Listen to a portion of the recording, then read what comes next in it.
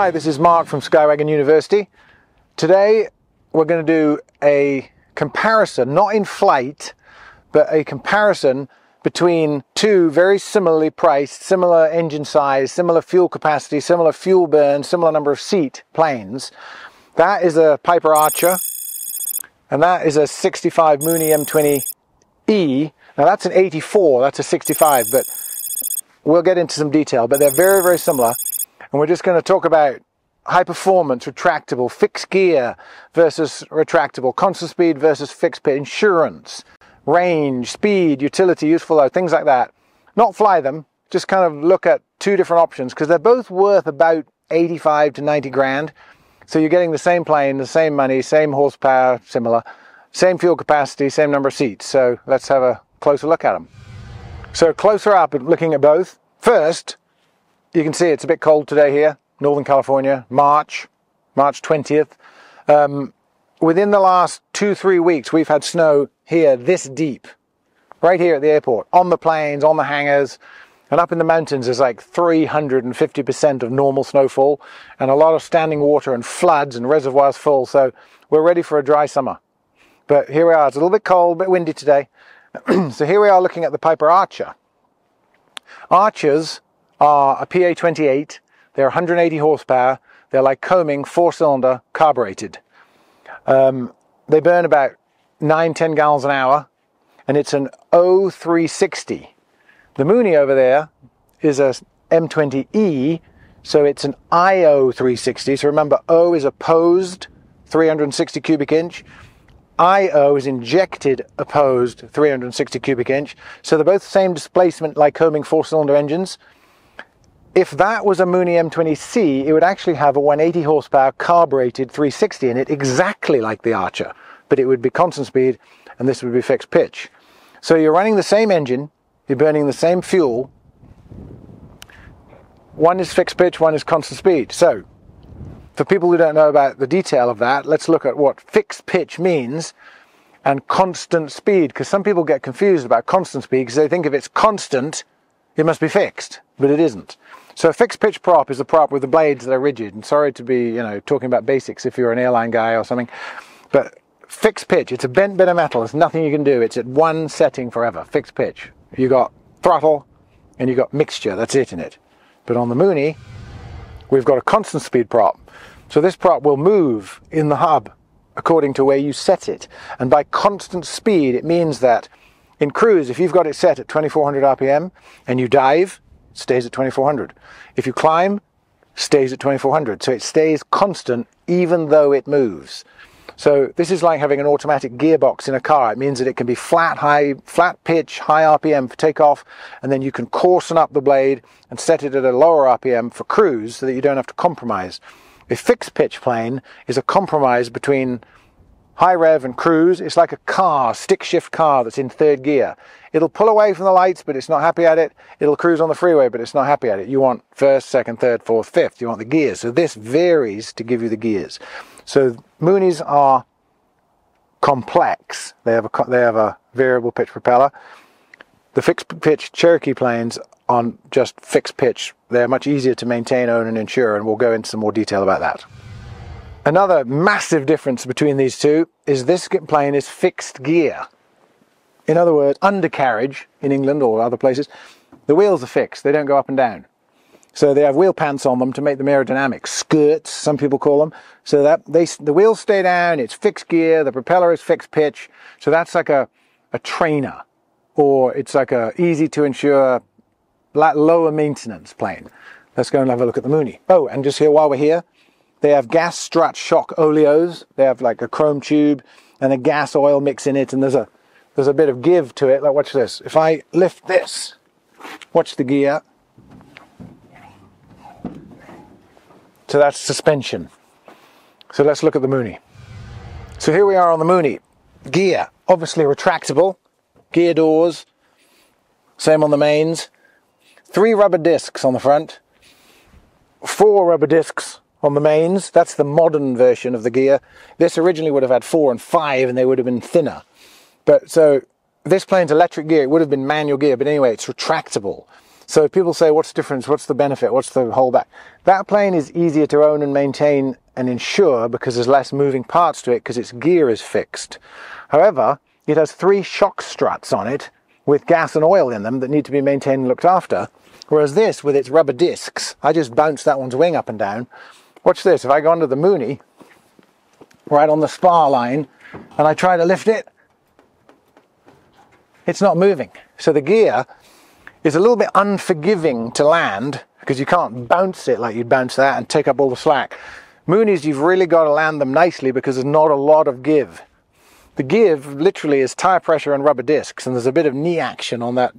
So they're quite firm. And the reason Mooney's fuel tanks leak, and you hear about them always, my Mooney's leaking, leaking, leaking, they leak because the gear is bolted to the inside of the wheel well, which is the outside of the fuel tank. So the jarring shocks of repeated hard landings on non-maintained rubber discs that have become hard transfer the shock to the sealant in the tank and then the tank leaks. So if you don't land your Mooney hard, you'll never leak. 50 gallons, 25 a side. 50 gallons, 25 a side. So very similar uh, fuel capacities.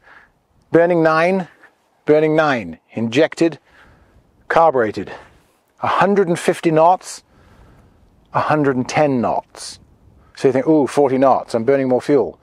But you're saving the money on the insurance because it's less to insure it because it isn't retractable and it doesn't have a constant speed prop on it. So I'm saying a lot of things twice, but there's a lot of variables in it. You could own that right out of passing you through your private pilot's license and wouldn't be scary to insure it. Your first year insuring a high performance retractable is going to be double that until you get the time and type, and you can't get the time and type until you own one. So you've got to put up with a year of higher insurance while you're getting your ratings, which isn't much, it's a few hour checkout, but you've got to have time and type, you've got to have hours of experience with the constant speed prop and the retractable gear. So inside, people think Moonies are small. Moonies are not much smaller than this. The door is narrow. The door on a Mooney is probably there. It's probably six inches shorter this way and actually very similar on the top, but you're getting in a smaller hole. You think, oh, it's small inside. Well, here we are on a Cherokee 180, Cherokee 180, Cherokee 140, 160, Warrior, Archer, Arrow, all of those PA28 types are this dimension in the cockpit. So if there were two of us in here, we'd be bumping elbows. The trim is right here, the flaps are right here, the rudder trim's right here. So there's a bit of throttle. So there's a lot of sort of you, you, you, you, you know it's it's a four seater. They're all going to be very similar inside where this gains is behind the seat, there's about four inches when it's all the way back. And when it's forward and flying, there's quite a lot of room in the back. It's an 84, this plane. I covet its rear leg room because that that is my Mooney and I always have people in the back and there's no room in the back. That's the rear seat. And look at the access into the rear seat in a Piper. And it's got a baggage area. We'll look at that in a minute. So internally, let's go over and have a look at the Mooney. So in the Mooney, the seats are always all the way back for easy to get in. So if I were to get in with the seat all the way back, it touches the back seat. It actually physically touches. You couldn't sit in the back right now with the seats back.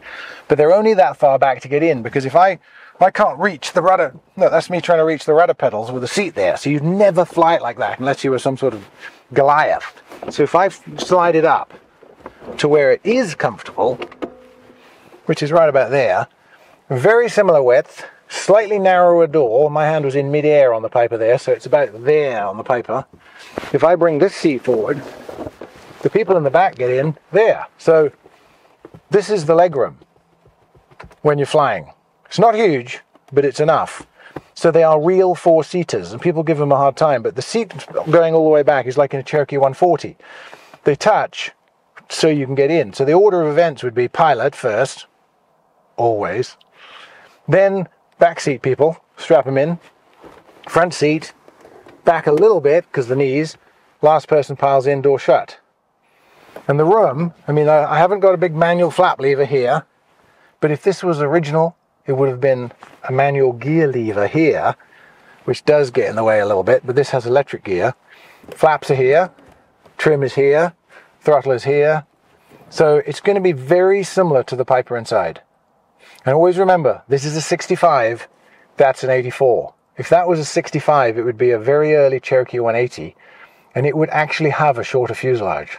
So it's not a very fair comparison there, because This plane is more advanced than that plane, and it's a 65, and that's an 84. It's a 19 years difference, and it's faster. And it's mine.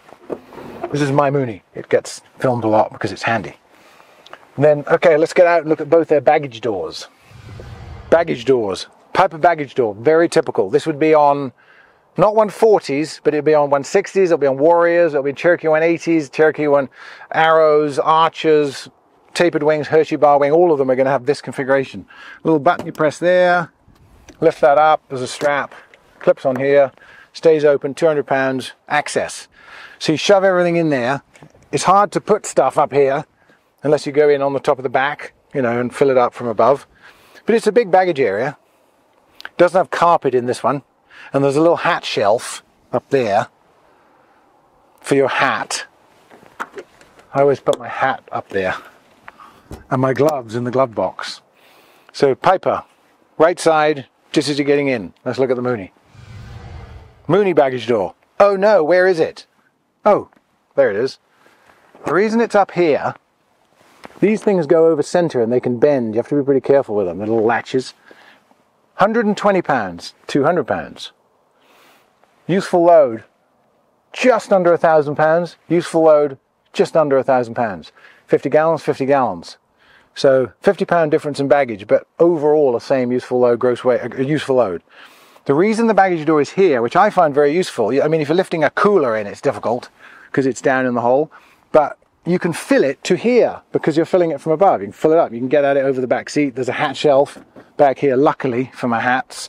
But the reason there isn't one here is because underneath the skin in a Mooney, there's a steel frame that goes from the engine mount to about here of tubular tube tubes tubes metal that cross over and zigzag around the plane giving it its fuselage structure. So you can't have a baggage door and cut right through the middle of the structure.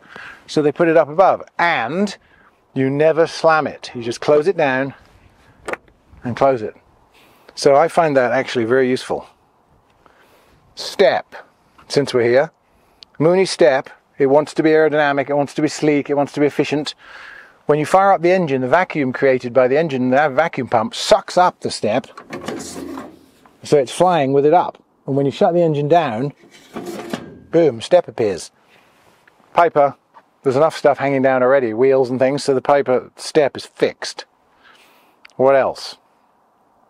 Tails. Let's go and see a tail of two planes. Tails. Very conventional on a Piper. Fixed, rudder, stabilator. The whole thing moves, very pipery, and it's longer on an Archer. Cherokee 180, Cherokee 140, they end at this rivet line. Archers, Warriors, Senecas, they, they keep on going out. There's four extra trivia. These internal grooves on a Piper, pre-65 were out. I think I said that in another video, but if you didn't see that video, if you ever see a Cherokee that's got inies on the vertical and outies on the horizontal, it's a 65. If they're all outies, it's a 64 and older, and if they're all innies, it's newer than 65, which is kind of irrelevant because this is an 84 and it's an Archer. But anyway, so the tail, whole thing is trim tab on the back, whole thing moves. It's not fixed with an elevator on it. And this stays still, which might sound like a stupid thing to say, but we're going to look at the Mooney now. So the tail of the Mooney, it's a long tail. No, tail of the Mooney, fixed horizontal and a normal elevator and it's all push rods so I'm not going to waggle it too hard because I'm moving push rods. That's another thing we'll talk about in a bit. Normal rudder vertical fin. But when you trim it the entire tail moves. Not just this not just the the vertical fin moves. So if we look under I mean I've done this more in another video but if you haven't seen that one this panel here if you undo those five screws and take that off there's a gap with a scissor action and a hinge and a jack screw that shortens and lengthens to trim the tail. And by shortening and lengthening that, this bit moves forward and back. This gap will close and open. So you're moving the entire tail when you trim it. And it's a jack screw on a hinge, very, very strong. And it's an excellent way of removing the need for a trim tab. And a trim tab is drag. And Moonies don't like drag because they're fast. So Al Mooney, genius, he made this tail and people ask, why is it on backwards? Slopey tail, normal looking, backwards, weird. The reason they're on backwards, I've heard, and if I'm wrong, correct me in the comments, when it stalls, It's easier to recover from a stall with a vertical fin leaning forward into the stalled air than a sloped fin that's only sloped so it looks cool. That's really why the only reason they are. The leading edge of the tail of a Mooney is flat, flat, flat. The whole thing. It's all about aerodynamics. So, as I just mentioned, control cables. What is a control cable? Obviously, it's a cable that operates the controls from the yoke. Moonies don't have them. It's a push rod. And we had a Cessna that broke its aileron cable parked. It had its gas lock in, and the wind was moving its ailerons. And I looked out, and both ailerons were down. I thought, that thing doesn't have a Robertson STOL kit. Why? I went out, wiggled it, yoke didn't move. Aileron cable had just snapped where it had been rusted. So another one has been put in it. But that would never have happened in a Mooney watch. So it's very small movement. That's full up, full down. Look at the deflection on the yokes. It's tiny. If that was a Cessna or a Piper, you'd be like 180ing it completely over. That's full range of motion and it doesn't limit how it flies. It's not like, oh, I wish I had more. These things will land in 30 knot crosswinds. They're excellent actually in a crosswind. But that is a control cable, heim joints, push rods, bell cranks, up to the yokes. There's not cable in it, including trim. So the trim's on a jack screw. The tail is uh, operated by actuators, which you can actually see under here. There's the rudder it's in full view. I won't push it too hard because it steers the nose wheel. And then underneath, you can see the rod end actuator right here, and this is what's making it move. And I'm, you can hear the clunking and the grinding of everything happening inside the plane. So let's go over and have a look at the Piper that does have control cables. So here we are at the Piper. Aileron travels. There's more. There's more travel. Look at the yokes going crazy. They go literally uh, right over 180 degrees. And that's just a normal bell crank with a cable, the usual that you'll see in most planes. Same with the tail. Yokes, full travel, trim tab moving, control cables. So that's kind of unique to Moonies to have those push rods. I kind of like it. It's very positive control. In the air, it feels very, very positive. So, uh, what else? So why would you own each one of these? I mean, what is the benefit? So imagine if they both had 3,000 hours total time and they both had 300 hour engines, which weirdly that does, that's its times. If they were both the same, same radios, same price, same engine, same fuel burn, same fuel capacity, same useful load, you'd think, oh, I'm going to get a Mooney because it's faster. Well, the reason you'd buy an Archer is because it's simpler to fly, simpler to own, simpler to buy, simpler to resell, because more people can fly it, um, simpler to maintain. But the main considerations would be complexity. So if you were, say you were 75 and you owned one of those and your insurance is four grand a year and you're thinking, damn, I got to keep flying, but I'm going to save some money, you'd buy something like this, which would go slower. So you're burning the same fuel, but you're going 30 knots slower. But you save that in the ownership of it because it's got fixed gear and it's fixed pitch. Four people, you know, you, you wouldn't want to go to Aspen in August with your encyclopedias. You know, you'd want to keep it sort of, uh, you know, be more careful with weather and wind and, and uh, high altitude flying in a in a fixed pitch, fixed gear, slower plane. The Mooney, for some reason, although it's got uh, the same engine and it's extra speed, goes to altitude and cruises faster, and you can get over weather in it because it's high performance, it's complex, it's fuel injected carbureted, so that doesn't have carb ice. So if you were in icing conditions and flying an IFR, you'd want injection. This is carbureted, you have carb heat in it.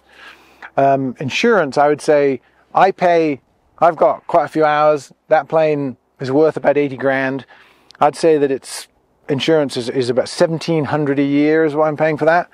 This plane, if I insured it, it would cost me about $900 a year. So there's a big consideration there. So if you were to annual each, I mean, I keep saying think of them as the same year because you can get them in similar years, but they're very close, so we're just going to pretend they are.